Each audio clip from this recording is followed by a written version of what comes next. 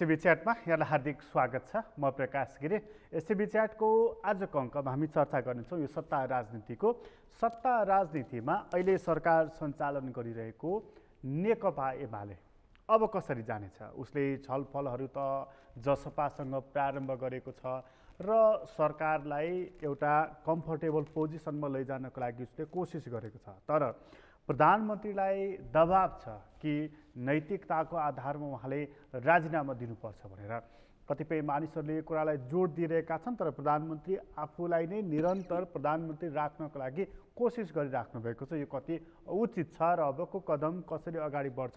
आजको अङ्कको हाम्रो मूल विषय यो रहनेछ र सत्ता राजनीतिमा अब आइपर्न सक्ने बाछिटाहरू कस्ता हुनेछन् त्यसबारेमा चर्चा गर्नेछौँ। हामीसँग आज कुराकानीको लागि स्टुडियोमा हुनुहुन्छ नेपाल कम्युनिस्ट पार्टी एमालेका नेता साध्यबहादुर भण्डारी तपाईँलाई स्वागत छ। धन्यवाद। यो अहिलेको राजनीतिलाई चाहिँ तपाईँ के भन्न चाहनुहुन्छ? अब यो एउटा परिस्थितिको बाध्यात्मक स्थिति यस्तो आएको छ कि नेपाली कम्युनिस्ट आन्दोलनको सत्तरी वर्षको इतिहासमा सबैभन्दा प्रबल बहुमत हासिल गरेको सरकार तर यो सरकारलाई तपाईँको बिचैमा ढाल्नको लागि बाहिर विदेशी शक्तिहरूले जुन खालको चाहिँ तयारी गरे अब त्यसको बाछिटा चाहिँ पार्टीभित्र पस्यो पर्यो।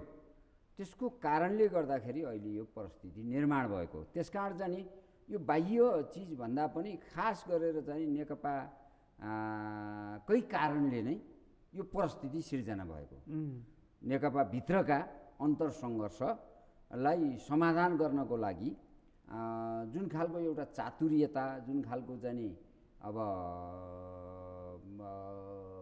हुनु पर्थ्यो होइन पार्टीभित्र त्यसको कतै कतै अभाव देखिन्छ भने अर्कोतिर चाहिँ तपाईँको ज जसले चाहिँ तपाईँको पार्टीभित्र होडलो मचाए अथवा ज जसले चाहिँ यो विषयवस्तुलाई चाहिँ गम्भीर रूपमा उठाएर पार्टीलाई यस ठाउँमा पुर्याए त्यस त्यो चाहिँ वैदेशिक शक्तिबाट प्रभावित देखिन्छ। त्यो हुडल्ने चाहिँ को हो? अब हुडल्ने चाहिँ तपाईँको केही अब सबै हामीले अहिले कस्तो खालको परिस्थितिमा हामी बाँचेका छौँ भने दुई हजार सात सालदेखि दुई हजार एघार सालसम्म दिल्ली सम्झौताको काल रह्यो। त्यतिखेरको अवस्थामा नेपाल तीव्रतर ढङ्गले चाहिँ भारतीयकरण भइरहेको थियो। अब त्यो बेला चाहिँ भारतीयकरणबाट रोक्नको लागि दिल्ली सम्झौताको विरोध गरेर पुष्पलालले विरोध गरेर नेपाली कम्युनिस्ट आन्दोलनका हस्ती पुष्पलाल कमरेडले नै दिल्ली सम्झौताको विरोध गरे हुनाले सबै शक्तिले आँखा उघारे र त्यो दिल्ली सम्झौताको भारतीयकरण गर्ने कार्यकाल हाम्रो गयो। तर बाह्र बुँदे सम्झौतापछि फेरि अर्को एकपटक नेपाललाई भारतीयकरण गर्ने कार्यकालको सुरुवात भयो। हामी अहिले त्यो कार्यकालमा हिँडिरहेछौँ। त्यसले गर्दाखेरि हाम्रो देशलाई अहिले अस्थिर अत्यन्त अस्थिर धरातलमा राख्ने चाहिँ हाम्रो दक्षिणा शक्ति छ। जसले चाहिँ दुई हजार सात सालदेखि अहिलेसम्म पाँच वर्ष एउटा सरकार पनि चल्न दिएन। त्यो दक्षिणा शक्तिले अहिले उचालेको कसलाई हो? अब पार्टीभित्रका दक्षिणा शक्तिका प्रभावमा पर्न सक्ने व्यक्तिहरूलाई को को हो चाहिँ उचाले। अब व्यक्तिगत रूपमा त हामी सबैलाई थाहा छ जसले बाह्र बुँदे सम्झौताको होइन आफूले चाहिँ तपाईँको स्वामित्व लिन चाहन्छन् होइन। अब त्यसमा जाने अब खास गरेर माओवादी पक्ष पनि बाह्र बुन्दे सम्झौताको एउटा पक्षधर भयो। अर्को पक्षधर भनेको काङ्ग्रेस भयो। काङ्ग्रेसको पनि गिरिजा भए। र खास गरेर गिरिजाले त तपाईँको नेपालको इतिहासमा गम्भीर खालका नेपालको इतिहासलाई अहिले यस ठाउँमा सुरुङमा पुर्याउनको लागि गिरिजा प्रसाद कोइरालाको कार्यकाल चाहिँ महत्त्वपूर्ण छ। त भारतले गिरिजा प्रसाद कोइरालालाई तिन पटक उदयमान गरेको छ तिन पटक पुनर्स्थापित गरेको छ।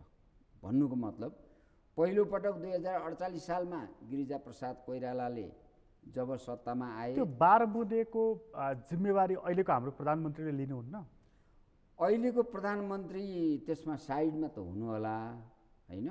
तर बाह्र बुँदीको मूल जिम्मेवार भनेको तिनवटा फ्याक्टर हो। एउटा नेपाली काङ्ग्रेसको गिरिजा प्रसाद कोइराला भनेपछि प्रधान अनि त्यसपछि भारत भन्नुहोस् त्यसपछि भारत पहिलो भारत अनि त्यहाँबाट जाने नेपाली काङ्ग्रेसको गिरिजा प्रसाद कोइराला र अनि नेकपा माओवादीको प्रचण्डजी नै हुनुहुन्छ। बाह्र बुन्दे सम् सम् सम्झौताका मूल फ्याक्टर। अरू भने सहयोगी हो। तर त्यही बाह्र बुँदेले नै आज यो सङ्घीय लोकतान्त्रिक गणतन्त्र यो अहिलेको यात्रा जुन छ नि त्यसैले ल्याइदिया हो नि त होइन? सङ्घीय लोकतन्त्र गणतन्त्रलाई तपाईँ कति पवित्र हेर्नुहुन्छ? यो यो तपाईँलाई अप पवित्र लाग्छ? यो अपवित्र हो। मलाई लाग्छ यो चाहिँ यसमा आएका कैयौँ चिजहरू वैदेशिक शक्तिसँग घुलमिल भएर आएको छ। यसमा आएको चिज भनेको गणतन्त्र गणतन्त्रको बारेमा म कुरा गरौँ। पहिला मेरो कुरा सुन्नुहुन्छ। गणतन्त्रको बारेमा जब चाहिँ नि दिल्ली तपाईँको चाहिँ नि दुई हजार उन्नाइस सय बैसठीमा जब इन्दिरा गान्धी पहिलोपटक प्रधानमन्त्री भइन् उनले तिनवटा कुरालाई अगाडि बढाउने भने मेरो बुवाले सबै काम ठिकै गर्नुभएको। हिमालय पर्वत श्रृङ्खला नै भारतको चाहिँ हाम्रो चाहिँ नि सिमाना हो भनेर त ठिकै भन्नुभयो। तर हिमालय पर्वत श्रृङ्खलाभित्र रहेका पाँचवटा देशहरू जसमा अहिले मुख्यत नेपाल भुटान र सिक्किमलाई बफर स्टेटको रूपमा परिभाषा गरेर त्यसको स्वामित्व त्यसलाई भारतमा नगाम्नु चाहिँ गम्भीर खालको गल्ती गर्नुभयो तर भनेर आज। काङ्ग्रेस तर आज होइन। त्यो कुरा मैले। किन यहाँ उठाउनु पर्छ? होइन होइन। तर आज कङ्ग्रेस आएको सरकार भारतमा पनि छैन नि। छैन। अब त्यसले त्यसकारण चाहिँ नि अहिले काङ्ग्रेस आएको सरकार नभए पनि नेहरू डक्ट्रिनकै सरकार हो फेरि। यो पनि यो त मोदी सरकार हो। मोदी भए पनि। नेहरूले नेहरूले जुन स्ट्रक्चर बनाएका थिए भारतको लागि त्यही स्ट्रक्चरलाई बढावा दिने सरकार भएको कारणले गर्दाखेरि आरएसएसको ब्याकअपमा बनेको सरकार हो। यसको होइन ब्याकअप तपाईँको जोसुकै होस्। नेहरूले भनेको कुरा के हो भनेको नेहरू डक्ट्रिनलाई नै मोदी सरकारले पनि फलो गरिराखेको छ। गरिरहेछ। तपाईँको नेहरू डक्ट्रिनले फलो गरी नेहरू डक्ट्रिनको फलो गरिरहेछ। अब नेहरू डक्ट्रिनको त्यतिखेरको कार्यकालमा भारत शक्तिशाली थिएन। आज शक्तिशाली नभएको कारणले गर्दाखेरि जुन स्वतन्त्र भएर बस्न चाहन्थे त्यो राज्यमा आक्रमण गर्न सकेन। आक्रमण गर्न नसकेको कारणले बफर स्टेट उसलाई मान्न बाध्य भयो। हेर्नुहोस् है अब त्यसपछि बफर स्टेटबाट अब भारतमा गाभ्नको लागि पहिलोपटक उन्नाइस सय सतहत्तरमा बिपी कोइरालालाई प्रस्ताव यो इन्दिरा गान्धीले। यो चाहिँ अलिक पुरानै कुरा भयो कि भनेको? पुरानो कुरा किन? आजको- यो नयाँ कुरासँग जोड्नको लागि पुरानो श्रृङ्खला नल्याइकन जोडिँदैन? आजको जियो म यही यही कुरा भन्छु। मैले बुझेँ। यो यो थोरै दुई मिनट मलाई राख्न दिनुहोस्। बिपीले के बिपीलाई के भने नि इन्दिरा गान्धीले भने इन्डियालाई नेपालको चाहिँ नि नेपालको हकमा वैदेशिक नीति र सुरक्षा नीति चाहिँ भारतको हातमा देऊ। म तिमीलाई पुनर्स्थापित गर्छु। भने तर बिपी कोइरालाले त्यसलाई चाहिँ सम्पूर्ण परिवेशलाई दक्षिण पूर्व एसियाको परिवेश र विश्व परिवेशलाई हेरिकन उहाँले चाहिँ बरु राजासँग मिलेर जाँदाखेरि ठिक हुन्छ दिल्लीमा चाहिँ आवास गर्दिनँ भन्ने ठाउँमा पुग्नुभयो र त्यो कुरा इन्कार गर्नुभयो। फेरि राजा वीरेन्द्रलाई राजा वीरेन्द्रलाई उन्नाइस सय एक अप्रेल उन्नाइस सय नब्बेमा त्यही खालको प्रस्ताव भारतले गरेको थियो। राजा वीरेन्द्रले त्यो कुरा मानेन। तर बिपी कोइराला जब दुई हजार तेत्तिस सालमा नेपाल फर्के नेपाल फर्किसकेपछि भारतले के पर्यो भन्नुहुन्छ भन्दाखेरि एकातिर शान्ति क्षेत्रको प्रस्ताव राजाले राखेको। अर्कोतिर बिपी कोइराला चिडिएर नेपाल गएको। भनेपछि अब काङ्ग्रेसको तहबाट भारतका चाहिने आफ्ना एजेन्डाहरू सम्बोधन हुँदैनन्। राजाले त सम्बोधन गर्दैन गर्दैन। त्यसकारण अब कहाँ जानुपर्छ त? भनेपछि अब चाहिँ नि नेपालका वामपन्थीभित्र चाहिँ हामी प्रवेश गर्नुपर्छ भनेर रले तपाईँको वामपन्थी आन्दोलनभित्र चाहिँ उसले कुर खोज्यो ठाउँ खोज्यो। बुझ्नु भने के? आज हामी त्यसको परिणाम भोगिरहेका छौँ। बुझ्नु भने के? रका मान्छेहरू आएर यहाँ क कसलाई भेट्छन्? तपाईँले सुनिराख्नु भएको छ। त्यो कुरा मैले भनी व्यक्त गरिराख्नु पर्दैन होइन? अब बाबुराम भट्टराईको चाहिँ तपाईँको दुई हजार चाहिँ चाहिँ तपाईँको चाहिँ बाह्र बुन्दे सम्झौतादेखि संविधान सभाको निर्वाचनसम्मको चाहिँ सम्पूर्ण कार्यकालको खाका रले हामीले बनाएको हो। त्यसकारण नेपालमा रको चाहिँ मिसन चाहिँ एकदम सफल छ भनेर टी हर्मीजीले दुई हजार पैँसठी सालको जेठ महिनामा एक्स इन्डिया एक्सप्रेसमा लेखै लेखेको हामीले देख्यौँ। बुझ्नु भने कि? भनेपछि चाहिँ नि बाबुराम किन जोड्नुभयो? बाबुराम चाहिँ बाबुराम र प्रचण्ड त भारतको चाहिँ तपाईँको प्रधानमन्त्री कार्यालयमा लगेर कबुलियतनामा बुझाउनु भएको छ नि त उहाँहरूले। तर रहको चिफ आएर हाम्रो अहिलेको प्रधानमन्त्रीलाई भेट्ने भेटे। तिन घन्टा गुप्त संवाद गर्ने दोष चाहिँ चो धान खाने मुसो चोट पाउने यो त अहिलेको कुरा भयो। अहिलेको कुरा भयो। रले दोहोरो तेह्रो भूमिका खेल्छ होइन? रको नेपाल मिसन भनेको के हो भने अहिलेको भइरहेको वामपन्थीको सरकार ढाल्ने हो। त्रिपक्षीय सरकार बनाउने हो त्रिशङ्कु सरकार बनाउने हो होइन? राष्ट्रघाती विधेयकहरू जति संसदमा प्रवेश गरेका छन् त्यसलाई पारित गराउने हो। र चिनसँग सम्भाव्य युद्धको तयारीमा नेपाली भूभागलाई चाहिँ प्रयोग गर्नको लागि त्यो अनुकूलको सरकार अथवा हाम्रा साथीहरूको जोड बलमा कुरा गर्ने हो भने कम्फर्टेबल सरकार निर्माण गर्ने हो। रको मूल मिसन त्यो थियो होइन? त्यो मिसनमा चाहिँ तपाईँको वर्तमान सरकारको प्रधानमन्त्रीलाई भेट्दाखेरि निश्चित रूपमा रहलाई त्यो कार्यक्रम बनाउनलाई सजिलो हो। त्यो मिसनमा हाम्रो प्रधानमन्त्री पनि हुनुहुन्छ? मलाई हाम्रो प्रधानमन्त्री हुनुहुन्छ जस्तो मलाई लाग्दैन। उहाँलाई उहाँले चाहिँ नि त तपाईँको उहाँलाई तपाईँ एउटा राष्ट्रवादी चस्माबाटै हेरिराख्नु भएको छ। होइन मैले राष्ट्रवादी भन्दा पनि हाम्रो अहिलेको कार्यकाल मैले त दिल्ली सम्झौता दोस्रो दिल्ली सम्झौताको जुन नेपाललाई नेपालको सार्वभौमिकतालाई फिजीकरण गरेर सिद्ध्याउने एउटा भुटानीकरण गरेर सिद्ध्याउने दोस्रो र सिक्किमीकरण गरेर सिद्ध्याउने यो तिनवटा आयामको कार्यकाल हो यो बाह्रमुदे सम्झौता पछिको। यो कार्यकालमा वर्तमान प्रधानमन्त्रीले जति काम गर्नुभयो बुझ्नुभयो नि कि? सापेक्षतामा सापेक्षतामा कुनै पनि प्रधानमन्त्रीले अथवा जसले जाने अहिले प्रधानमन्त्री वर्तमान वर्तमान प्रधानमन्त्रीको विरोध गरिराख्नु भएको छ उहाँहरूको दसवटा अवतार भए पनि यो प्रधानमन्त्रीले गरे जति काम गर्न सक्दैन। म चाहिँ त्यो चाहिँ दाबी साथ भन्छु? केपी ओलीले जति गरेको काम काम अरू नेताहरू अरू नेताहरू जो तपाईँको चाहिँ फिगरमा छन् दसौँ जन्म भए पनि दसवटा अवतार भए पनि गर्न सक्दैन। त्यत्रो काम गर्नुभएको छ। त्यत्रो काम गर्नुभएको छ। कुन चाहिँ कामलाई हेरेर तपाईँले साह्रै ठुलो प्रशंसा गर्नुभयो? किन भन्नुहुन्छ भन्दाखेरि चिनसँग नेपाल चाहिँ चार पटक नाकाबन्दी लाग्यो। तर चिनसँग भारतको कुरा मैले गरिनँ। हो, गर्नुभयो, तर भारतले चार पटक नाकाबन्दी गर्यो। एकपटक दुई हजार सोह्र सालमा बिपी कोइरालाले के गर्नुभयो त? भन्नुहुन्छ भन्दाखेरि सिक्किम र भुटानमा नेपालमा भारतीय सेना परिचालन गर्ने योजना भारतले बनायो। बिपी कोइरालाले ठाडो विरोध गरेको कारणले गर्दाखेरि छ घन्टा तत्कालीन अवस्थामा भारतले नेपाललाई नाकाबन्दी गर्यो। दुई हजार सत्ताइस सालमा भारतीय सैनिक मिसन अठार ठाउँको चेकपोस्ट हटाए बापत नेपालले नाकाबन्दी खेप्नु पर्यो। दुई हजार बयालिस चौवालिस पैँतालिस सालमा होइन व्यापार भारतको अनुकूलको व्यापार गरेन र चिनसँग हात हतियार लिएर आयो नेपालले भन्ने नाउँमा चाहिँ भारतले चाहिँ ठुलो सङ्कट दियो।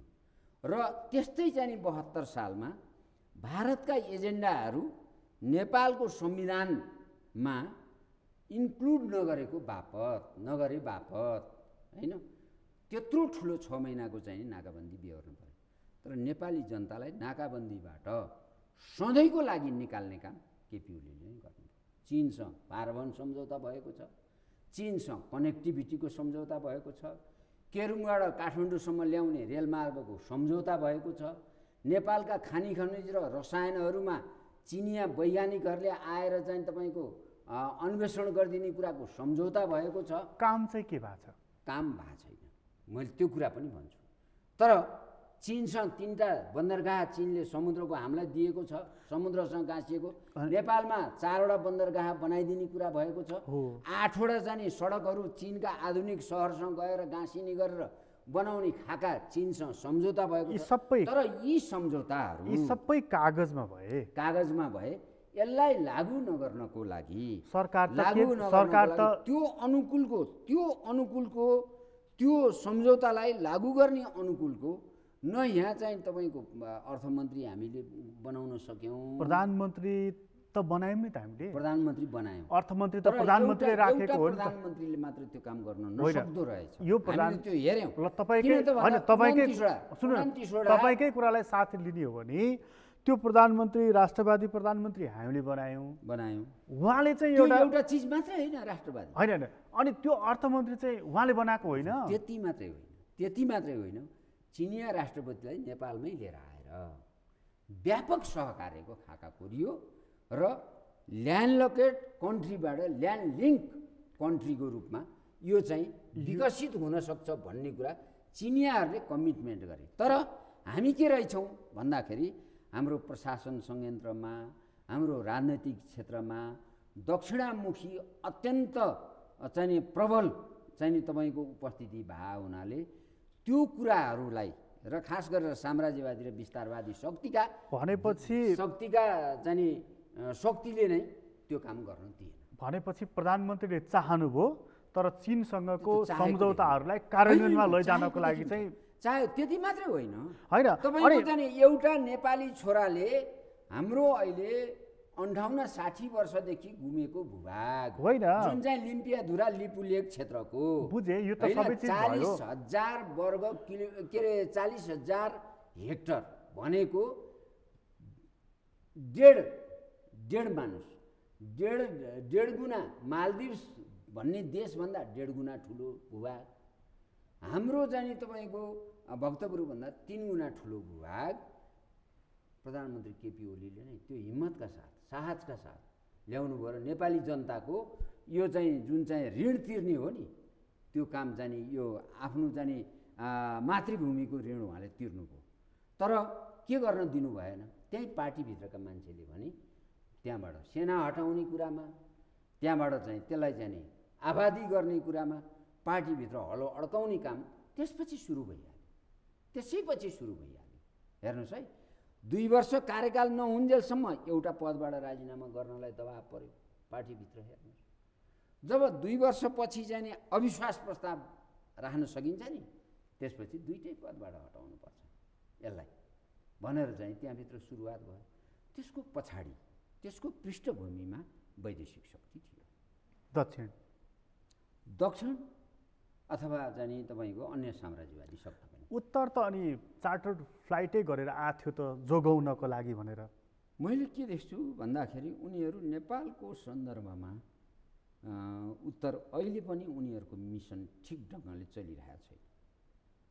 तर त्यत्रो दक्षिणको मिसन जति प्रभावकारी होइन। नेपालमा। होइन उत्तरको मिसन पनि राजदूतले नेताहरूलाई घर घरमा गएर भेटेकै हो तपाईँहरूले जतिसुकै भेटुन् जतिसुकै भेटुन्। मिसन फेल भइसकेपछि मिसनमा काम नभइसकेपछि भेटले केही अर्थ लाग्दैन। अहिले पनि चिनियाहरूले व्यापारिक दृष्टि दृष्टि- दृष्टिकोणबाट मात्रै नेपाललाई हेर्छन्। त्यो गलत हो। राजनैतिक दृष्टिकोणबाट उनीहरूले व्याख्या गर्न सक्दैन।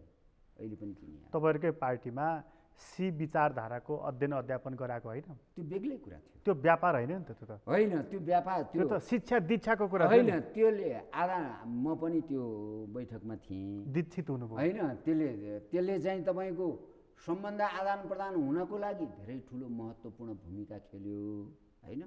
त्यहाँको पार्टी सञ्चालन गर्ने र यहाँको पार्टी सञ्चालन गर्ने धेरै चाहिँ फरक हामीले भेट्टायौँ त्यहाँ। गरिबी निवारण गर्ने उहाँहरूको शैलीबाट हामीले सिक्नै पर्छ भन्ने हामीलाई पनि लाग्यो। पार्टी चाहिँ जोगाउन सक्नु भएन। तर चाहिँ नि पार्टी अब यो एउटा एउटा कुरा गरौँ म तपाईँलाई। हेर्नुहोस् राजा महेन्द्रले म राजगद्दी छोड्छु।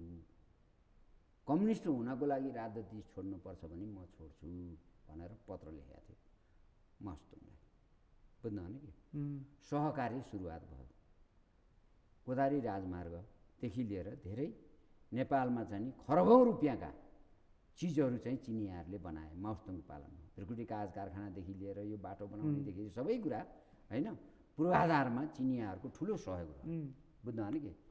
राजा महेन्द्र अब त्यसपछि राजा वीरेन्द्रले खम्पा विद्रोह दमन गरे। हेर्नुहोस् है। जबकि चिनलाई टुक्र्याउनको लागि चाहिँ अमेरिकाले ठुलो लगानी गरिरहेको थियो। राजा ज्ञानेन्द्रलाई ज्ञानेन्द्रलाई चाहिँ नि तपाईँको सार्कको सार्कको सम्मेलनमा चाहिँ तपाईँको प्रतिनिधि पनि होइन पर्यवेक्षक बनाएर बोलाउन भन्ने प्रस्तावको आधारमा राजा ज्ञानेन्द्रको गद्दी ताक्यो इन्डियाले नष्ट गर्ने भयो। तर चिनियाहरू जम्मा जाने श्याम शरण गएर तिन दिन जाने चिन बहनासाथ राजतन्त्रपट्टिको उनीहरूको लगाव छोडिदिए चिनले छोड बुझ्नु भने कि? जतिसुकै ठुला राम्रा काम यहाँका राजाले जाने चिनको हितमा धेरै राम्रो काम गरेका थियो राजतन्त्र जोगाएन जोगाएन नि बुझ्नु भने कि? त्यस कारण उनीहरूको मिसन राजनैतिक छैन अहिले। उनीहरूको मात्र जाने तपाईँको व्यापारिक रूपले कसलाई प्रयोग गर्न सकिन्छ? भारतसँग चाहिँ सामान बेच्ने नाउँमा नेपालको राजतन्त्रले गरेको गुण चिनिया नेताहरूले जसरी बिर्सिए नि होइन? त्यस्तै गरेर अहिले नेकपा फुट्ने स्थितिसम्म आइपुग्दाखेरि चिनियाहरूले कुनै आकलनै गर्न सकेन यस्तो खालको घटना गर्छ भने। यहाँ फुट्ने दिशा आउँदाखेरि चाहिँ चिनबाट त्यत्रो ठुलो नेता एउटा चार्टर फ्लाइटमा आएर बरु सरकार छाड्नु पऱ्यो पनि छाड पार्टी चाहिँ नफुटाऊ त भनेकै हुन् नि? त्यसले हुँदैन नि। केपी ओलीले मान्नु होइन होइन तपाईँको चिनको लागि केपी ओली जति मित्र थिए अरू मान्छे छँदै थिएनन् त्यो पार्टीभित्र। किन जाने त्यो त्यो कुरा चिनियाहरूले बुझ्नै सकेन? त्यो सबै सम्झौता गरेन त केपी ओली थिए त? अरूले त एउटा पनि सम्झौता गरेन।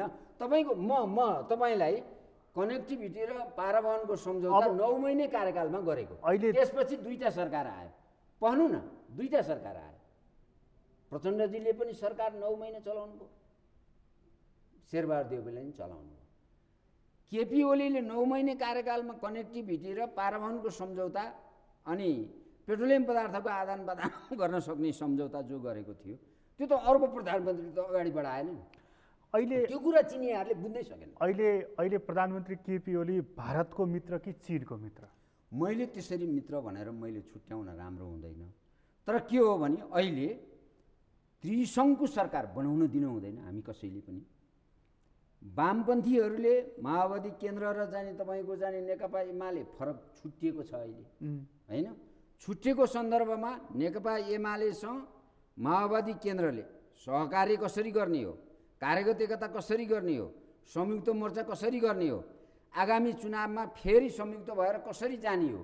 र यही सरकारमा आएर कसरी काम गर्ने हो? त्यो खालको रणनीति माओवादी केन्द्रले अख्तियार गर्नुपर्छ। अझै सम्भावना छ त्यो? सम्भावना छ अहिले पनि। अस्तिसम्म तर मम गरे परिस्थिति त फेरियो नि। तपाईँको एउटा सर्वोच्च अदालतको एकजना जाने एकजना दुईजना जाने न्यायाधीशले तपाईँको पार्टी फोरेको त हेरियो नि हामी। त्यो त तपाईँहरूको चाहना अनुसारकै काम हो नि। होइन हाम्रो चाहना तपाईँहरू फुट्न खोजिराख्नु भएको थियो फुट्न सकिराख्नु भएको थियो चाहना अनुसारको काम होइन। हामीले सत्तरी वर्षको कार्यकालमा बल्ल एउटा चाहिँ तपाईँको प्रधानमन्त्रीले प्रधानमन्त्री पाएका थियौँ। प्रधानमन्त्रीले अध्यादेश ल्याएर फुटाउनको लागि कोसिस गर्नुभएको थियो। सक्नु भएको थिएन। राष्ट्रियताको पक्षमा पाँच राष्ट्रियताका धेरै आयामहरू छन्। एमाले र माओवादी केन्द्रको बिचमा अझै पनि सरकारमा सहकारी हुनसक्छ? सक्छ। सक्छ कार्यगत एकता हुनसक्छ सहकार्य हुनसक्छ संयुक्त मोर्चा हुनसक्छ विश्वभरिका प्रतिक्रियावादीहरूलाई देखाउनुपर्छ नेपालका कम्युनिस्ट। यो अस्तिको झगडा नि। अस्तिको झगडा बिर्सनुपर्छ। त्यो त विश्वले हेऱ्यो नि। होइन विश्वले हेरे त्यसलाई सच्याउनुपर्छ। अस्तिको झगडालाई? अस्तिको झगडामा एउटा सैद्धान्तिक विभेद राखेको हो नि त। त्यहाँबाट हामी एमाले हौ एमालेमै छौँ भनेर माधव नेपालहरूले भन्दाखेरि ती माधव नेपालहरूलाई आज पनि दुई दिन यता तिन दिन यताका व्यवहारहरू त सौतनी व्यवहार छ नि। होइन यस्तो भयो। तपाईँको जसले चाहिँ तपाईँको अब कुर्चीबाट न नहटाइ छाड्दिन भनेर जो जो मान्छेहरू लागेका थिए उहाँहरू सचिसक्नुभयो। कमरेड माधव नेपाल भयो कमरेड झलनाथ खनाल भयो। अब सबैले के भन्न थालिसक्नुभयो भन्नुहुन्छ भन्दाखेरि वर्तमान केपी सरकारलाई नै हामीले अब बाँकी दुई वर्षको कार्यकाल बनाउन दिनुपर्छ। यो जनताको म्यान्डेटबाट हामी भत्किनु हुँदैन। त्यो म्यान्डेट प्रचण्डजीलाई पनि प्राप्त भएको। त्यस कारण प्रचण्डजीले पनि अब चाहिँ तपाईँको चिसो दिमागले के सोच्नुपर्छ भन्दाखेरि शेरबहादुर देउबाको घर घरमा सधैँ धाउने होइन। शेरबहादुर देउबा प्रचण्ड कहाँ कहिले पनि धाउँदैन। प्रधानमन्त्री हुनुपर्ने मान्छे चाहिँ प्रधानमन्त्री खाइदिनुहोस् भनेर भइदिनुहोस् भनेर शेरबहादुर प्रधानमन्त्री धाउ धाउनुहुन्छ। त्यहाँमाथि शेरबहादुर देव उपरखुट्टी लाएर बस्नुहुन्छ। उहाँ चाहिँ कक्रक्क परेर बस्नुहुन्छ। हामी सबैलाई लाज भएको छ यो हेर्नुहोस्। वामपन्थी हामी वामपन्थी भन्छौँ होइन? तर शेरबहादुर देव जसले सत्र हजार मानिसको टाउका काट्यो जसले पचास लाख चाहिँ नि उहाँहरूलाई नै रगत चुहाउँदै झोलामा लिएर आइज है भनेर जाने आदेश फरमान गर्यो। त्यही मान्छेलाई प्रधानमन्त्री भइदिनुहोस् न भनेर पटक पटक त्यो बुढा निलखण्ड झाएको हामी सबैले बेजेती फिल गरेका छौँ। सानो पीडाले त त्यहाँ धाएको होइन होला नि त होला के को पीडा छ? के को पीडा छ? वामपन्थीहरूको सरकार छ। उहाँले अहिलेसम्म वामपन्थी चाहिँ आन्दोलन छोड्नु भएको छैन। त्यो वामपन्थीहरूसँग सहकार्य गर्नको लागि धेरै आयामहरू छन्। कार्यगत एकता सहकारी। मोर्चा सबै बन्न सक्छ। बहत्तर वर्षमा माओले क्रान्ति गर्नुभयो। म त अझै बैसठी त्रिसठीमै छु केही फरक पर्दैन भनेर। त्यो आत्मसन्तुष्टि गरे हो भन्ने मलाई लाग्छ। त्यस्तो गर्नु हुँदैन। बुझ्नु होइन कि? शान्ति प्रक्रियामा किन आउने नि? त्यसो भए। अझै फेरि सशस्त्र गर्ने अझै क्रान्ति गर्ने कुरा छ भने उहाँलाई हेकको त्यो तरबार चाहिँ किन देखाइरहनु नि त्यसो कसले देखाएर कसैले देखाएको छैन। हामीले त भनिरहेछौँ हामीले तिनवटा कुरा भनिरहेछौँ। यो मलाई सान्दर्भिक जस्तो लाग्छ। बहत्तर सालको संविधान जारी भइसकेपछि नेपाल सङ्क्रमणकालको अन्त्य गर्ने युद्धका डोबहरू मेट्ने एउटा अर्को युद्ध हुने सम्भावना भएका सबै सामाजिक विसङ्गतिहरूलाई सम्बोधन गर्ने यो सरकारले गर्नुपर्छ। एक। दोस्रो के गर्नुपर्छ भने राष्ट्रियताको जगेर्ना र प्रवर्धन भएको राष्ट्रियतालाई जगेर्ना गर्ने बाँकी चाहिँ असमान सन्धि लगायतका सन्धिहरू खारेज गरेर प्रवर्धन गर्ने लिपुलेक लिम्पियाधुरासम्मको जमिन फिर्ता लिने महेशपुरको जमिन फिर्ता लिने तपाईँको जाने सुस्ताको जमिन फिर्ता लिने होइन? अब नेपाल भारत सिमानामा तारबार लगाउने तहसम्मको चाहिँ तपाईँको उ गर्ने चिनसँग पनि गर्ने आफ्नो देशको रक्षा गर्ने बुझ्नु होइन कि? यो सरकारको काम। तेस्रो कुरो नेपाललाई चाहिँ तपाईँको जाने समृद्धि मुलुक बनाउनको लागि अहिले हामीले तराईमा जाने तपाईँको चुरेको फेदीबाट पूर्वदेखि पश्चिमसम्म नहरको प्रणाली जाने हामीले खाका कोरिरहेछौँ त्यो भयो भने हामी तराईका जाने तपाईँको साढे डेढ करोड जनतालाई जाने हामी तत्कालै जाने एउटा ठुलो जाने तपाईँको राहत दिन सक्छौँ र अनि पचासौँ लाख मानिसलाई चाहिँ तत्काल चाहिँ नि, अ, बेरोजगार हटाउन सक्छौँ। अनि त्यसपछि चाहिँ नि तराई के अरे चाहिँ नि, अ, म- मध्य पहाडी लोकमार्गलाई एउटा ढाड जस्तो बनाएर त्यसमा चाहिँ नि सहर विकास गरेर त्यहाँबाट चाहिँ नि हामीले तिब्बतका नाकाहरूसम्म चाहिँ नि बाटोघाटो खोल्ने अथवा स्काई रेल खोल्ने र नेपालको उत्पादन लगेर तिब्बतमा बेच्ने हो। चिनियाहरूबाट तिब्बतीहरूले चाहिँ नि सामान ल्याउँदाखेरि पाँच गुणा महँगो पर्छ नेपालबाट भन्दा हाम्रो त्यति सस्तो पर्छ उनीहरू हो यो कुरा? यो कुरा त्यो कुरा हामीले गर्न सक्छौँ त्यति मात्रै होइन यो कुरा तपाईँहरूले भन्न थालेको हामीले सुन्न थालेको कति वर्ष भयो भन्नुहोस्? यो कुरा त भर्खर मैले जाने अनुसन्धान गरेर अहिले जाने तपाईँको गर्दाखेरि पूर्व पश्चिम जाने तपाईँको नहर प्रणाली बन्न सक्छ। त्यहाँ भेसल जहाजहरू चढ्न सक्छन्। तिब्बतका नाकाहरूमा हामीले लगेर जहाजहरू लगेर ठोक्न सक्छौँ। र त्यसलाई चाहिँ पढ्नुहोस् है। नदी प्रणाली नदी प्रणालीबाट पहाडसम्म होइन?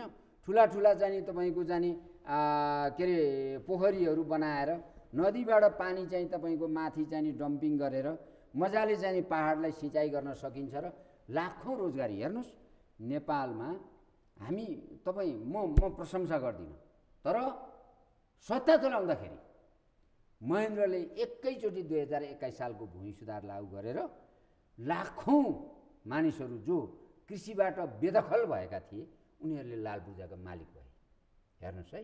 बुझ्नु होइन कि? तराई सिँगै पूर्वदेखि पश्चिमसम्मको। तिनैलाई तानासा भन्नुहुन्छ तपाईँहरू फेरि। तानाशाह त त्यो बेग्लै कुरा भयो। तर पूर्वदेखि पश्चिमसम्म एकैचोटि तपाईँको लाखौँ पाहाडका खा खान नपाउने किसानहरूलाई जमिन दिएर उनीहरूलाई चाहिँ जमिनको मालिक बनाए। ती मानिसहरूलाई रोक्न त्यही तराईमै चाहिँ बस्नको लागि त्यो- तराईमै बाँच्नको लागि उनीहरूलाई पूर्व पश्चिम राजमार्ग खोले। अब हामी हामी त्यो जमिन त दिन सक्दैनौँ अहिले तर रोजगारी त दिन सक्छौँ नि। त्यो राजा महेन्द्रको तस्बिर त सिंहदरबारमा राखे हुन्थ्यो नि त। काम त राम्रै गरेर। राख्नुपर्छ। राखे केही बिग्रिँदैन। नेपालको राजा मात्रै होइन ऊ। ऊ सामाजिक चाहिने तपाईँको चाहिने सुधारवादी सुधार गरेर जनताको हितमा काम गर्ने पनि राजा बुझ्नु भने कि? त्यो राख्दा हुन्छ। मैले चाहिँ त्यो राख्नु हुँदैन। पृथ्वीनारायण शाहको राख्नु हुन्छ महेन्द्रको राख्नु हुन्छ। बुझ्नु भने कि?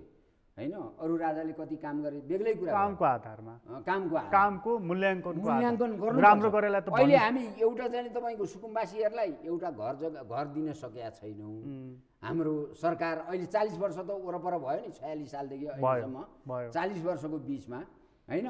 बिजुली चाहिँ तपाईँको चाहिँ एक हजार मेगावाट उत्पादन गर्न सकेका छैनौँ। राजा महेन्द्रले चाहिँ बनाइदिएको। राजा महेन्द्रले चाहिँ नि तपाईँको चाहिँ नि बनाइदिएका सारा उद्योग धन्दाहरू बेचेर काङ्ग्रेस चालिस वर्ष भयो पालिएर बसेको छ। सबै निजीकरण गरेर सिद्ध्याएर बुझ्नु भएन कि? त्यस कारण गिरिजा प्रसाद कोइरालाको दुई हजार अडचालिस सालमा आउनुभयो तिनवटा काम गर्नुभयो। एउटा के गर्नुभयो? भन्दाखेरि भयभरका उद्योग धन्दादेखि लिएर यो चाहिँ जुन देशलाई जाने आत्मसम्मानपूर्ण ढङ्गले अगाडि बढाउन सकिन्थ्यो त्यसलाई त्यसलाई जाने सिध्याइदिनु यसमा त अलग्गै डिबेट हुनसक्छ। यो। अलिकति आर्थिक एङ्गलले पनि डिबेट गर्नुपर्ने विषय हो, तर। अहिलेको सन्दर्भमा असफल होइन असफल मुलुक बनाउनको लागि त्यसपछि भ्रष्टाचारको जग हाल्नुभयो राष्ट्रियतालाई जाने समाप्त गर्ने दिशामा जानुभयो। तिनवटा काम गर्नुभयो। भ्रष्ट छप्पन्न सालमा। अहिले चाहिँ अहिले तपाईँले भनिदिनुहुन्छ नि यो सरकारको सन्दर्भमा चाहिँ त्रिशङ्कु सरकार बनाउनु हुँदैन। हो। भनेपछि प्राकृतिक समीकरण भनेको चाहिँ नेकपा एमाले र माओवादी केन्द्रको बिचमा हुनु नै। पहिलो कुरा त्यति मात्रै होइन। अरू पनि कम्युनिस्टहरू छन्। जो सानातिना सबै कम्युनिस्ट घटक छन्। सबैलाई एमाले भित्र चाहिँ चाहिँ तपाईँको ल्याउनुपर्छ। तर प्रधानमन्त्री चाहिँ मधेसी दल जसपासँग हात मागिराख्नु भएको छ। कसले? प्रधानमन्त्रीले। साथ देऊ मलाई भनेर। होइन मैले त भनिहालेँ नि उहाँले जाने नेपाललाई उँभो लाग्ने काम चाहिँ एउटा मात्रै देख्नुहोस् त शेरबहादुर देउवाले। चार वर्ष चार पटक प्रधानमन्त्री हुनुभयो। होइन अहिले हाम्रो होइन के अरे अहिले हाम्रो प्रधानमन्त्रीले त्यो त देशभित्रको जनतासँग जोसँग पनि हात माग्नु सक्छ हो तर उहाँको हामीसँग नि हात माग्नु सक्नुहुन्छ। हो तर अरू कम्युनिस्ट घटक छ नि माग्नु माग्नु। प्राकृतिक समीकरण भनेको अहिलेको नेकपा एमालेको माओवादीसँग हुन्छ भने प्रचण्डजी? अब हिजोको भयो भन्दाखेरि तपाईँको प्रचण्डजी शेरबहादुर देउवा कहाँ जानुहुन्छ भने होइन? उहाँ पनि त फर्मर प्रधानमन्त्री हो प्रचण्डजी पनि। क्रान्तिकारी नेता पनि हो होइन? तर शेरबहादुर देउवा नि फर्मर प्रधानमन्त्री शेरबहादुर देउवा एकपटक जाँदैन। होइन अहिले प्रचण्डजी जानुहुन्छ अनि त्यहाँ चाहिँ हात माग्न कसरी जानुहुन्छ उहाँले? होइन अहिलेको हाम्रो प्रधानमन्त्रीले सम्बन्धै राख्ने हो भने त प्रचण्डसँग राखे भयो नि त किन राख्नुपर्छ। त्यो जनता समाजवादी होइन राख्नुपर्छ। प्रचण्डजीसँग पनि राख्नुपर्छ काङ्ग्रेससँग पनि राख्नुपर्छ तपाईँको विपक्षी पार्टीको हैसियतले मधेसवादी दलसँग पनि राख्नुपर्छ। तर अहिले के भयो भन्नुहुन्छ भने एक सय बिस एक्काइस सिटको कारणले गर्दाखेरि अहिले चाहिँ नि प्रधानमन्त्रीको चाहिँ नि तपाईँको बहुमत गुमेको छ। यो बहुमत गुमेको अवस्थामा। यो बहुमत गुमेको चाहिँ प्रधानमन्त्रीको दम्बले होइन कमण्डले होइन? प्रधानमन्त्रीको मात्रै दम्ब होइन। प्रधानमन्त्रीको पार्टीभित्र देखा परेको अन्तर्विरोधले। त्यो पनि होला तर प्रधान अन्तर्विरोधले। मैले तपाईँलाई भनौँ होइन तपाईँलाई भनौँ जुन दिन चाहिँ तपाईँको उहाँले नक्सा जारी गर्नुभयो त्यसको चाहिँ चौथो पाँचौँ दिनदेखि उहाँलाई दुइटै पदबाट हटाउने कुरा आयो। तपाईँ सार्वजनिक महत्त्वपूर्ण पद र कार्यकारी पोस्टमा हुनुहुन्छ भने तपाईँ त्यति नै विनम्र पनि त हुनुपर्छ नि। विनम्र हुनु पर्ला व्यक्तिको आफआफ्नो चाहिँ तपाईँको गुणहरू हुन्छन्। तर हेर्नुहोस् प्रधानमन्त्रीले नक्सा जारी गरेर एउटा जाने भारतलाई के खालको जाने सन्देश दिएको हो भने आधुनिक युगको युद्धको स्रोत अहिले भारत हो। भारतले जुन नक्सा जारी गरेको छ नि पाकिस्तानले पाकिस्तान प्रशासित जमिनलाई पनि आफ्नो बनाएर। भनेपछि नेकपा हिजोको नेकपामा देखिएको विवादको चुरो कारण भनेको चाहिँ भारत हो भन्ने तपाईँलाई लाग्छ? भारत हो नै। भारतै हो। यहाँभित्रको जस्तो प्रधानमन्त्रीले अरूलाई दम्ब प्रकट गरेको समान व्यवहार नगरेको आफू चोट। राजस्वी कुर्सीमा बसेर अर्कोलाई। काठको एउटा कुर्सीमा राखिदिएको। एउटा त्यो एउटा पक्ष होला। मन दुखाउने त सानो कुराले नै हुन्छ नि। त हेर्नुहोस् डाँडा बाटामा सुतेर आएको मान्छे होइन? त्यस कारण चाहिँ तपाईँको चेपाङको घरमा पुवापाटमा सुकेर सुतेर आएको मान्छे। त्यस कारण मलाई त्यस्तो कुराको कुनै ख्याल हुँदैन म त्यो ख्याल पनि गर्दिनँ। तर के हो त भन्दा प्रधानमन्त्रीले एउटा चुनौती भारतलाई के खडा गर्नुभयो? भन्नुहुन्छ भने त्यो नक्सा जुन हाम्रो समेत जमिन अझ अझ सुस्ताको जमिनको बारेमा पनि नक्सा जारी गरेको छ भारतले त्यो अझ हामीले लिन बाँकी छ। लिम्पियाधुरा लिपुलेक क्षेत्रको चालिस हजार हेक्टर जमिन जुन चाहिँ नेपाल भारतले खाइरहेको थियो र त्यहाँ आठवटा बङ्कर खनेर अहिले चाहिँ नि भारत बसिरहेको छ फेरि भारतले प्रचण्डजीले नै हतियार बनाएर दुई हजार पैँसठी सालमा विराटनगरको मलया रोडमा क्याम्प अफिस भनेर सेना ल्याएर राखेको थियो। त्यो सेनाको उद्देश्य के थियो त? भन्दाखेरि त्यो सेनाको उद्देश्य चाहिँ तपाईँको चाहिँ नि सतलज विद्युत निगमले तयारी गरेको जुन चाहिँ तपाईँको ट्रान्समिसन लाइन छ त्यसको सुरक्षा दिने नाउँमा अरुण भ्याली कब्जा गर्ने र तपाईँको चाहिँ नि कञ्चनजङ्घाको टापुमा गएर बस्ने नेपालको पश्चिमबाट पनि जाने तपाईँको सेनाले घेराबन्दी गर्ने पूर्वबाट पनि घेराबन्दी गर्ने। यो खालको मिसनको चाहिँ तपाईँको त्यो विराटनगरको जाने विराटनगरको सैनिक सैनिक क्याम्प हटाउने काम यही प्रधानमन्त्रीले गरे। अब वर्तमान प्रधानमन्त्रीले नै गरे। अब यो सरकार रहन्छ कि यो सरकार हट्छ? रहन्छ। यो सरकार रहन्छ। जुनसुकै कष्टमा पनि माओवादी केन्द्रले निर्णय गर्नुपर्छ। वामपन्थीको सरकार ढाल्नु हुँदैन। एक दोस्रो कुरा चरम दक्षिणपन्थी राष्ट्रघाती र हत्याराहरूको सरकार बनाउनु हुँदैन। भावनाले त राजनीति हुँदैन नि। होइन भावनाको कुरा होइन। तपाईँको यो कुरा त तपाईँ तपाईँले आँखाले टटकारै देख्नु भएको छ हिजो दुःख पाएको कुरा पनि देखाएको छौँ नि त। त्यत्रो सारबुँदे सम्झौता गरेर पार्टी मिलाएर गएको समानताको आधारमा कार्यकाल आधा आधा गरिन्छ भनेर लेखेको त्यसलाई भोलिपल्ट इरेजरले मेटेको आज पार्टी फुटेको। बिर्सन्छन् त प्रचण्डजीले। गैर संवैधानिक संवैधानिक कुरा। त्यो गलत थियो त्यो। हिजो गलत भाँडोमा टेकिएको थियो भनेर आफू सचिनु पर्दैन। सचिनु पर्छ। उहाँले उहाँले यो खालको सद्बुद्धि कायम हुन्छ प्रचण्डजीलाई। मैले बुझ्छु प्रचण्डजीलाई। सात वर्ष एउटै कमिटीमा बसेर काम गरे हो।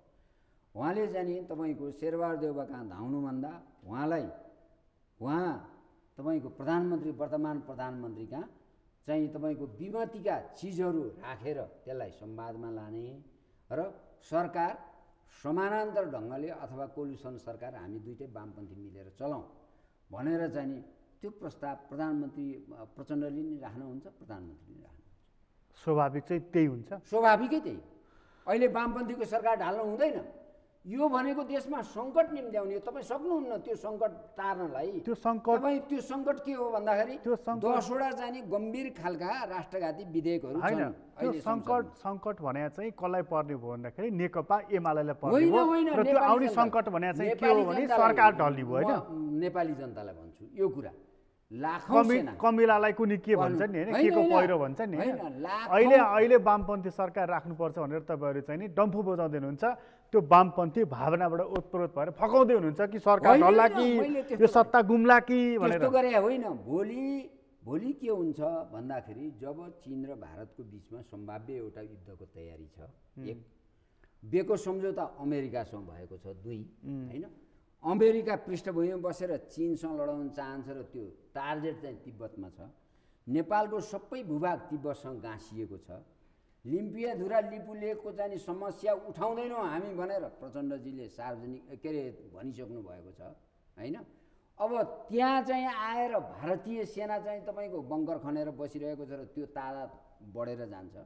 बाबुराम भट्टराईले दुई हजार अडसट्ठी सालमा विपा सम्झौता गर्दाखेरि यो आकाशको स्वामित्व छोडिदिनु भएको छ तपाईँलाई त्यो थाहा छ कि छैन। अनि हाम्रो आकाशको स्वामित्व छैन। अनि एमसिसी अनि- अनि एमसिसी चाहिँ हाम्रो प्रधानमन्त्री हाम्रो प्रधानमन्त्रीले ल्याएकै होइन ल्याएकै होइन होइन तर अनि त्यसलाई पास गर्नुपर्छ भनेर पास गर्नुपर्छ भनेर त्यो कर्सीको लागि भन्नुभयो होला। एमसिसी मूलत ल्याउने बाबुराम हो। बुझ्नु भएन कि? मूलत। यो लगानी बोर्ड गठन गर्ने र एमसिसीमा कमिटमेन्ट जनाएपछि उहाँ अमेरिकाको भ्रमणमा जान पाउनु भएको छ र उहाँको आतङ्ककारीको ट्याग चाहिँ हटेको छ। त्यसपछि एमसिसी आएको शेरबहादुर देउबा र प्रचण्डजीको सरकार भएको बेलामा सम्झौता भएको। बुझ्नु भएन कि? अहिले पनि थप उहाँहरूको बिचमा कमिटमेन्ट भएको छ। त्यसै भएर शेरबहादुर देउबाको सरकार बनाउनको लागि अमेरिका लागि परेर लागेको छ। एमसिसी पारित गर्नको लागि। भारत चाहिँ केपी ओलीको सरकार टिकाउनको लागि लागिरहेको लागेको छैन। भारतले केपी ओलीको सरकार टिकाउन चाहँदैन किनभने एमसिसी भारतको पनि एजेन्डा हो। किन त भन्दा साउथ पूर्व एसियामा अमेरिकन मिसनको मूल माउटे भनेको भारत हो। नेपालको सिङ्गै जलस्रोत दोहन गर्नको लागि त्यो एमसिसी एउटा माध्यम बन्न सक्छ। त्यसकारण चाहिँ तपाईँको चाहिँ नि भारतलाई नेपालको सिङ्गै जलस्रोत चाहिएको छ। त्यसकारण चाहिँ नि हामीले कुनै पनि हालतमा चाहिँ तपाईँको शेरबहादुर देउवाको नेतृत्वमा सरकार बन्न दिनुहुन्न तपाईँ हामीले पनि। तर किनभने तपाईँ हामीले बनाउन साथ। तर प्रधानमन्त्रीमाथि नैतिक प्रश्न त छ नि त होइन? उहाँले संसद विघटन गर्नुभयो अदालतले पुनस्थापित गरिदियो। त नैतिकताको प्रश्न स्वाभाविक देशभन्दा ठुलो नैतिकता होइन अनैतिक भएर पनि देश बचाउनु पर्छ प्रधानमन्त्रीले होइन? अहिले हेर्नुहोस् तपाईँको उच्च के अरे माथिल्लो कर्णालीको सम्झौता चार वर्ष भयो रिन्यू भएको छैन जिएमआरसँग। माथिल्लो कर्णालीको शेरबहादुर देउबा आएको भोलिपल्ट माथिल्लो कर्णालीको रिन्यू हुन्छ। अस्ति यो सरकारले दिएको चाहिँ कुन चाहिँ नदी अरे? त्यो अरुण चाहिँ तल्लो नदी। त्यसमा त्यसमा ऊर्जा मन्त्रीको टिप्पणी पनि सम्झनुहोस् न। म सम्झन्छु। भारतलाई खुसी पार्नको लागि- म म- त्यो कुरा भन्छु। पहिला यो कुरा भनौँ कि उहाँले आउँदा आउँदै दुईवटा सम्झौता गर्नुहुन्छ शेरबहादुर देउवाले एउटा उच्च कोशी बाँध भारतले बनाउन त्यो त। उहाँको सरकार- त्यो त- हाम्रो पूर्वको जमिन सबै मरुभूमि त्यो त देउवाको सरकारै नबन्ने भयो त्यतातर्फ तपाईँले मैले अहिले बहसै गर्नु परेन। तर भारतलाई खुसी पार्नको लागि किन दियो त अरुण थड? अरुण थर्ड होइन। अरुण थर्ड त गिरिजा प्रसाद कोइरालाको पालामा दिएको हो। अहिले तल्लो अरुण तल्लो अरुण। तल्लो अरुण। मलाई लाग्छ त्यो हाम्रो विवादित विषय हो होइन? तल्लो अरुण नेपालले बनाउनुपर्छ तर पूर्वाञ्चलका मानिसहरूबाट त्यो तल्लो अरुण बचाउनको लागि किन कुरा उठिरहेको छैन त्यसबाट म अचम्बित छु। ऊर्जा मन्त्री स्वयंले चाहिँ भारतलाई खुसी पार्नको लागि अथवा ब्यालेन्स गर्नको लागि त्यो दिएको भनेपछि त जुङ्गा चल्यो कुरा त बुझ्यो नि। ऊर्जा मन्त्री कति विवेकपूर्ण ढङ्गले कुरा गर्नुहुन्छ भन्ने कुरा कति जानकारी राख्नुहुन्छ तपाईँले? त्यसो हो भने उहाँलाई ऊर्जा मन्त्रालय प्रधानमन्त्रीले दिइराख्न उचित हुन्छ? अब उचित र अनुचित म जान्दिनँ बुझ्दैन कि? किन त्यो गर्नुपर्छ? तर धेरै विवेकले बोल्न सक्नुहुन्छ जस्तो मलाई लाग्दैन। मेरो त कार्यकर्ता हो हिजोको अवस्थामा होइन? त्यस कारण चाहिँ धेरै विवेक प्रयोग गरेर बोल्न सक्ने क्षमता राख्नुहुन्छ भन्ने म लाग्दैन। र धेरै राष्ट्रहितमा बोल्न सक्छु बोल्न सक् सक्नुहुन्छ जस्तो मलाई। जब उहाँको मूल गुरु भनेको बाबुराम हो होइन? बाबुराम नै त्यस्तो भइसकेपछि अनि उहाँको चेलो कस्तो हुन्छ? त्यस कारण यो यो विषयमा धेरै नजाउँ। तर शेरबहादुर देउबाको सरकार भयो तर- तिनवटा तिनवटा सङ्कट तर तर उहाँ मन्त्री हो मन्त्री भइसकेपछि तत्कालीन जिम्मेवारी त प्रधानमन्त्रीले लिने हो नि त। प्रधानमन्त्री केपी। हैसियतले नबोलिया पनि हुनसक्छ एउटा। ऊर्जा मन्त्री हुनुहुन्छ ऊर्जा मन्त्री भएर त्यो ऊर्जा मन्त्रीको कुर्ची चाहिँ नि तपाईँको चाहिँ नि कुर्चीमा छु भन्ने चाहिँ नि त्यो भ्याउ नपाएको पनि हुनसक्छ। त्यस्तो त? कारवाहीको दायरामा पर्नु पर्दैन। नेपाली जनताले त्यस्ता मान्छेलाई कुनै न कुनै हदसम्म आएर कारवाही गर्ला प्रधानमन्त्रीको जिम्मेवारी के हो? भोलिको अवस्थामा प्रधानमन्त्री- प्रधानमन्त्रीले पनि प्रधानमन्त्री अहिले निश्चित रूपमा अहिले चाहिँ नि तपाईँको केही न केही चाहिँ नि प्रधानमन्त्रीको चाहिँ नि अहिले सङ्कटमै हुनुहुन्छ। भनेको उहाँलाई अहिले खादा माला लगाएर राख्नुपर्ने बाध्यता छ। केही बाध्यता हुनसक्छ होइन? त्यस कारण त्यतातिर भन्दा पनि म के भन्न चाहन्छु भन्दाखेरि नेपालको भूभाग नेपालको भूभाग चिनिया विरुद्ध चिनिया लडाइँको लागि चाहिँ समर्पण गर्ने सरकार भारतले चाहेको हो त्यो भने त्रिशङ्कु सरकार हो। त्रिशङ्कु सरकार आएपछि नै हाम्रो राष्ट्रघातको सुरुवात हुन्छ। यो अर्को समीकरण सरकारको अर्को समीकरण बन्ने प्रधानमन्त्री हट्ने देख्नुहुन्छ कि अर्को मध्यावधितर्फ जाने देख्नुहुन्छ? अब मलाई के लाग्छ भन्दाखेरि केही जाने यदि चाहिँ नि उहाँले विश्वासको मत लिन पर्ने स्थिति भएछ र विश्वासको मत प्राप्त हुन सकेन भने मध्यावधिमा जानुको विकल्प छैन। एक बुझ्नु भने कि? पहिलो कुरा होइन?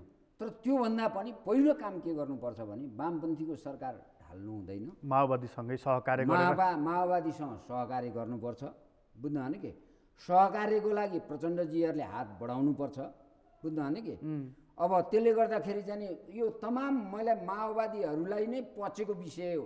शेरबहादुर देउवालाई फेरि प्रधानमन्त्री बनाउने पचास लाख टाउको मूल्य तोक्ने मान्छेलाई नै प्रधानमन्त्री बनाउने फेरि माओवादीकै समर्थनमा भन्ने कुरा माओवादी साथीहरूलाई पचेको छ जस्तो मलाई लाग्दैन।